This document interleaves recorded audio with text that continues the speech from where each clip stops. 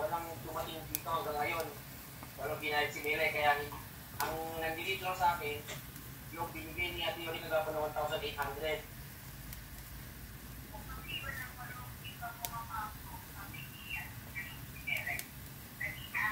Okay.